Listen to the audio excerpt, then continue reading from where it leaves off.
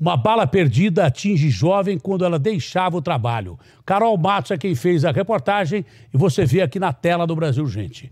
Me ajuda aí, por gentileza, o meu amigo Claudinho Gigante.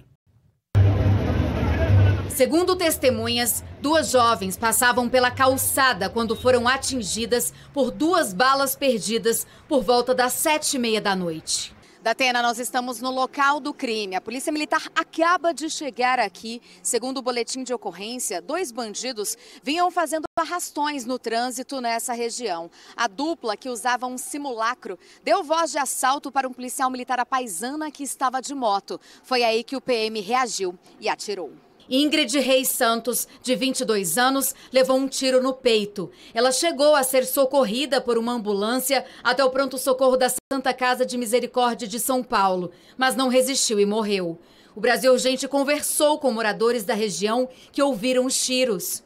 Infelizmente, que levou a pior foi a menina, né, de 22 anos. Estava passando por acaso, aí eu pegou o tiro no peito da coitada. É triste, né, porque eu conheço o pai dela, né, conheço o pai dela e vejo sempre ela passar aqui também, né?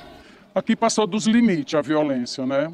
Assalto toda hora, a gangue das bicicletas, né? É uma situação caótica. Estamos abandonados aqui no centro de São Paulo, estamos abandonados. A outra vítima baleada na barriga, uma garota de 21 anos, também foi socorrida para a Santa Casa, mas está fora de perigo e já teve alta. Este rapaz, que pediu para não ser identificado, conhece a jovem que sobreviveu. Ele conta que as duas moças baleadas não se conheciam e foram surpreendidas pelo tiroteio quando voltavam do trabalho. A menina tinha saído do trabalho, estava indo para casa, tinha a família esperando. Uma família tá chorando, não só uma, né? Como outra também que correu o risco de perder também outra vida, né? Os tiros atingiram ainda um dos ladrões, de 19 anos. O bandido foi baleado e levado para o hospital sob escolta da polícia. Outro comparsa conseguiu fugir. O crime aconteceu neste ponto da Rua Vitória, na esquina com a Avenida Rio Branco, região central de São Paulo. O caso está sendo investigado pelo Departamento Estadual de Homicídios